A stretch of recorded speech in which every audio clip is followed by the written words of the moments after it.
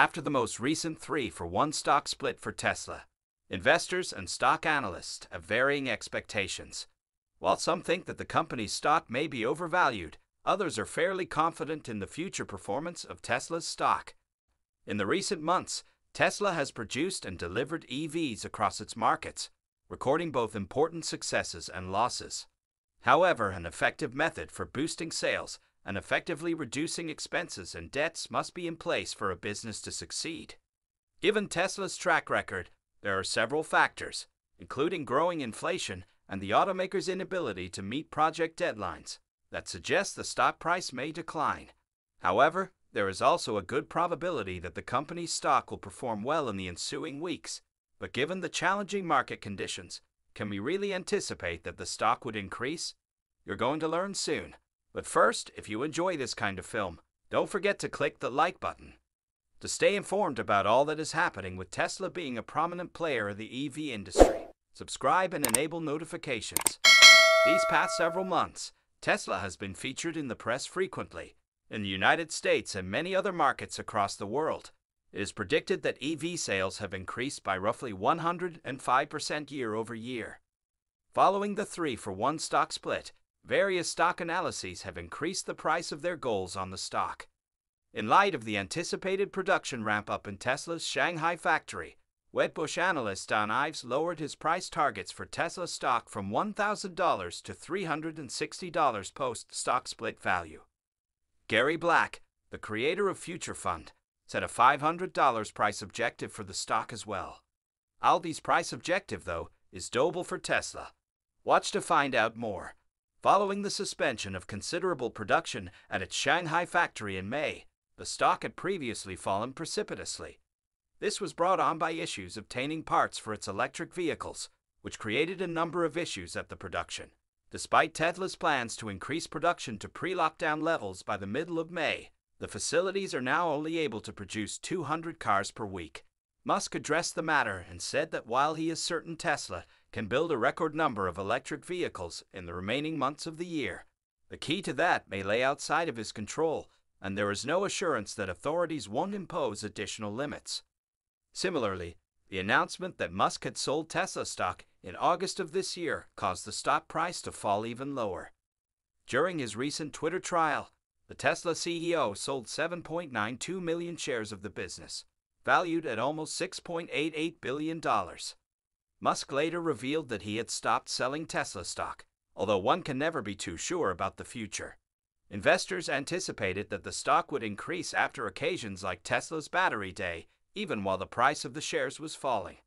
The 2020 event was organized by the manufacturer to showcase the most recent battery advancements.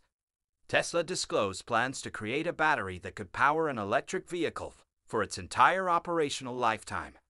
The 4680 cells are anticipated to lower Tesla's production costs and increase productivity.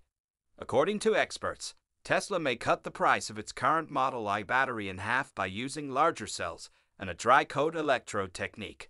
When it comes to the use of lithium ion batteries in electric automobiles, the automaker is already at the forefront of the industry, and with this expanded selection of batteries, Tesla may have the capacity to produce highly regarded EVs far superior to anyone else in the market.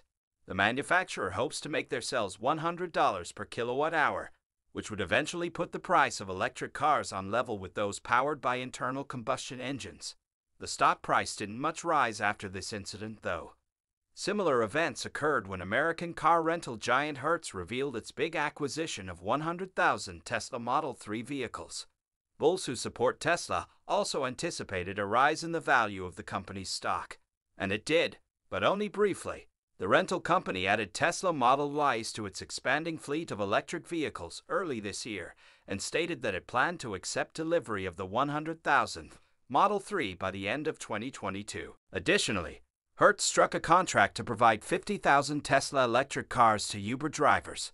The company has been expanding its fleet of Tesla cars, which might help the company gain greater notoriety and attract more customers.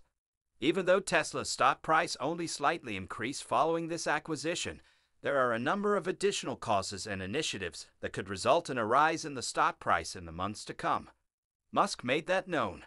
Release of fresh improvements to Tesla's FSD function is one of the company's primary goals for the remainder of the year, and this is probably going to happen. Tesla published FSD Beta 10.69 earlier this year, which includes a number of noteworthy upgrades from the prior version. Soon later, the automaker issued a new version 10.69.1 with additional capabilities. That's not all, though. Tesla intends to release FSD Beta 10.69.2 in September, Musk stated on Twitter. He indicated that polishing is still required for this subsequent and possibly final edition.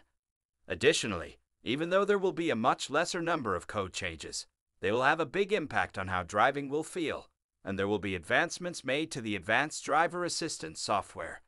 Additionally, Tesla intends to distribute the newest FSD beta version to all 100,000 of its testers. According to Musk, the cost of Tesla's FSD beta software in North America has increased by $3,000 to $15,000 from the prior price. What are your thoughts on this? Comment below and let us know. Tesla has been working to boost its 4680 battery output since Battery Day in 2020. This is an effort to develop the next generation of automobiles and meet the 2030 objective of 20 million EVs. Tesla has undoubtedly found this to be fairly difficult. According to experts, Tesla is having trouble scaling its dry coat electrode process and is only halfway to realizing its objective of successfully releasing its 4680 cells. The electric vehicle manufacturer is still working towards using larger cells in its vehicles, and according to analysts, Tesla will likely be able to use the dry coat electrode method for 4680 cells next year. In related news, it appears that the automaker is finally on the path to dropping its junk bond rating and achieving blue chip status. Despite accruing over $18 billion in cash and generating high delivery profits for more than two years running, rating agencies like S&P Global Ratings and Moody's Investors Service still classify Tesla as a junk bond. That, though, appears to be fading into obscurity. According to Joel Levington of Bloomberg Intelligence Credit Analysis, Tesla is still making a ton of money and will eventually force these point rating companies to take action. He continued by saying he wouldn't be shocked if Tesla's investment grade was raised before the year's end. It goes without saying that this is overdue for the sixth most valuable company in the world. And while it might not seem like much to the average Tesla investor in terms of the difference, it could mean a lot to large funds that frequently have a policy not to invest in companies with anything lower than an investment grade rating with a higher rating. These bigger finances will be available to Tesla, which might be quite beneficial for the automaker. Additionally, Tesla will hold its second day later this year and is anticipated to unveil a number of intriguing tweaks and enhancements.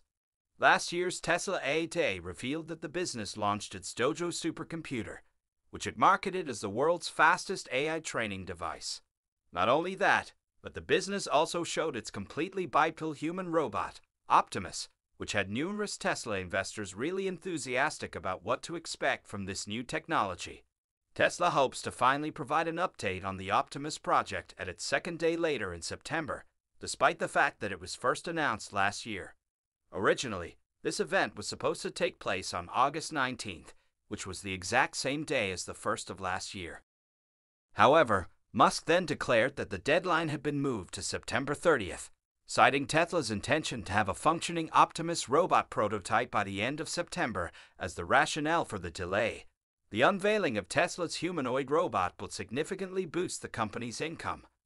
Additionally, before the company's Q2 earnings were disclosed, the anticipated news on Tesla's Q3 deliveries and sales is probably going to be another catalyst for its stock price. Revenue of $16.521 billion and earnings per share of $1.81 were forecast by Wall Street for the quarter. Due to the Shanghai Gigafactory's complete shutdown, there were only roughly 250,000 deliveries as opposed to the well over 300,000 that were anticipated. Fortunately, despite the challenging quarter, Tesla's financial report for the quarter exceeded forecasts on both profitability and revenue. With revenues of $16,934 billion and earnings per share of $2.27, the company exceeded Wall Street's expectations by nearly $400 million. Considering that Tesla survived the most challenging quarter, Tesla supporters are fairly upbeat about what will occur in the third quarter of this year. What do you think, though? Comment below and let us know. Click on one of these two videos on your screen while you are still here. Hello there.